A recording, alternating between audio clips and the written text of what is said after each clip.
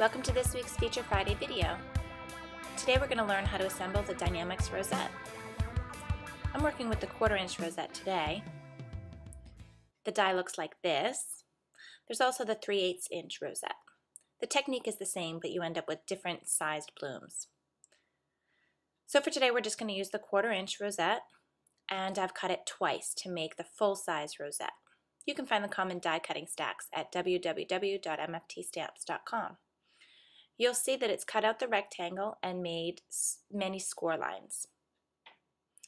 Now I'm going to fan fold it. Remember when you're in kindergarten and you do this by hand? This is a lot easier when you just follow the pre-scored lines. Back and forth, and it creates a little fan.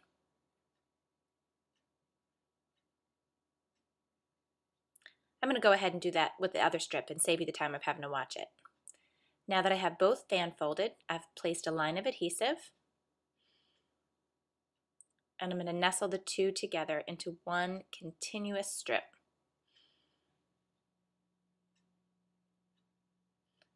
Now I'll place a line of adhesive just on the end and join the two ends together into a continuous circle. I like to use Jody boosters, but any strong circular adhesive will work. I flip the rosette over, gather the center, and place the strong adhesive on the back. Now we can try making it in a mini size. We're going to use the same die cut, cut the paper again, and this time I'm going to cut it in half.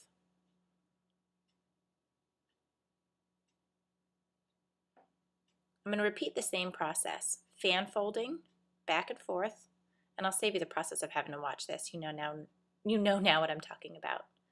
So we're going to fan fold it back and forth on both pieces and adhere the two tiny fan folded pieces together, same as the last sample.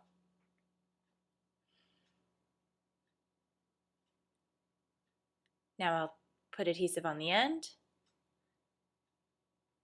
gather it into a circle, put it face down on the table,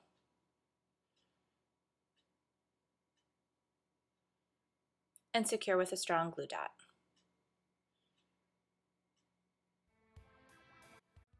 Here you can see the size of the mini rosette and the original rosette.